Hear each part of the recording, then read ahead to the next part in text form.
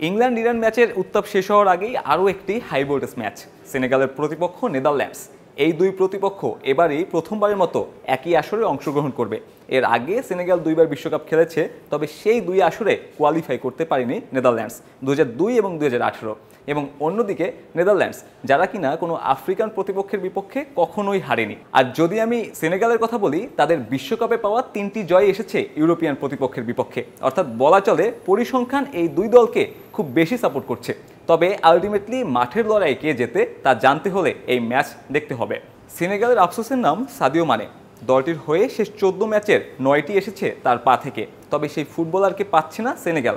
অন্যদিকে মেমফিস ডিপে থাকছে না নেদারল্যান্ডস শিবিরে। তবে এই দুই তারকা ফুটবলার না থাকলেও মাঠের লড়াই তো আর থেমে থাকবে না। সেই লড়াইতে নামবে সেনেগাল এবং নেদারল্যান্ডস। গ্রুপ অফ ডেথ খ্যাত এই গ্রুপ থেকে জয় তুলে নিতে দুই দলই বদ্ধপরিকর এবং এই ম্যাচে জয় পেলে অনেকটাই পরের রাউন্ডের লড়াইয়ে এগিয়ে যাবে। নেদারল্যান্ডসের সাম্প্রতিক ফর্মটা দুর্দান্ত। শেষ পনেরো ম্যাচ এবং দেড় বছর ধরে দলটি কোনো ম্যাচ হারেনি।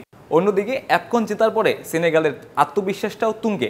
তবে দলের সব থেকে তারকা ফুটবলারকে ছাড়া এই দলটা ডাচদের বিপক্ষে কেমন করে, সেটা কিন্তু বড় প্রশ্ন। যদিও মাঠের লড়াই শুরু হওয়ার পরেই এত সব প্রশ্নের উত্তর পাওয়া যাবে। ততক্ষণ পর্যন্ত খেলার সময়ের সঙ্গেই থাকুন এবং বিশ্বকাপের সবশেষ তথ্য জানতে আমাদের ফেসবুক এবং ইউটিউব চ্যানেলে যুক্ত থাকুন।